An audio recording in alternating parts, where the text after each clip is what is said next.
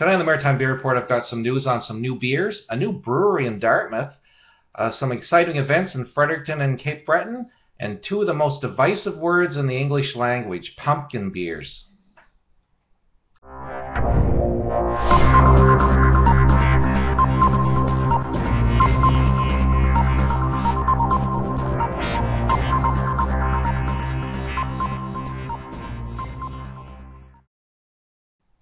Been a beautiful week here in Halifax. I hope you had a chance to enjoy some of it.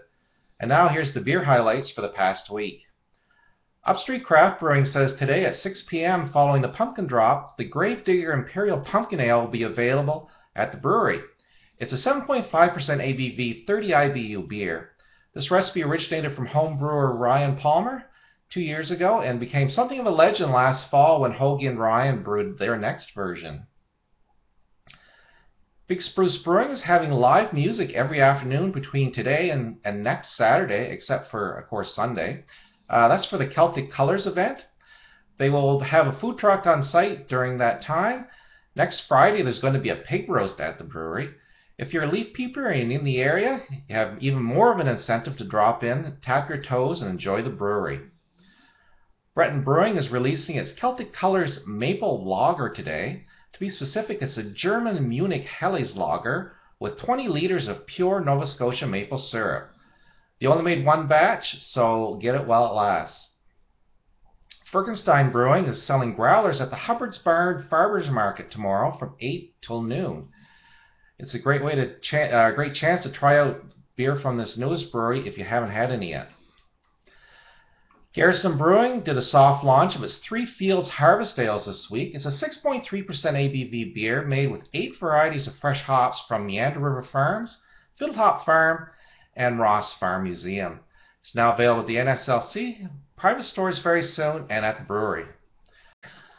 Granite Brewery is selling black and tan growlers from the beer store on Stairs Street. It's a blend of their best bitter and Keith's Irish Stout. They also said that their honey ginger is gone for the season. We'll look for it again next summer. It was reported on the coast this week that Nine Locks Brewing will be opening at 219 Waverley Road in the same building as Micmac Tavern later next month. The uh, microbrewery is an homage to the Nine Locks in the Shubenacadie Canal, and the 7,000 square foot brewhouse will house a 20 barrel DME system. Rock Bottom brewmaster Jake Saunders and Chris Downey, formerly of Montreal's Brutopia, will be initially brewing six styles of beers an IPA, an extra special bitter, a white ale, an APA, porter, and an ISA. Early in 2016, they plan to have their beers available in growlers at the brewery and a retail store, as well as 473 ml cans at the brewery, the NSLC, restaurants, and private liquor stores. Nook and Cranny and Truro has switched things up, and they now have their own pumpkin spice ale on tap with a sugar cinnamon nutmeg rim. The beer is a 4.5% ABV, and the aroma is more allspice oriented, just like smelling fresh baked apple or sorry uh, pumpkin pie. James Joyce Pub is hosting a series of Meet Your Makers featuring Big Axe Brewing. Join them on October 23rd for this first edition at 7:30 p.m. with Peter and Tatiana and a tap takeover. It's your chance to meet with the brewers and talk about beer. And that's all I have for this week. Thanks very much for joining me. Enjoy your Thanksgiving. I hope everybody has a good one. And until next time, enjoy responsibly.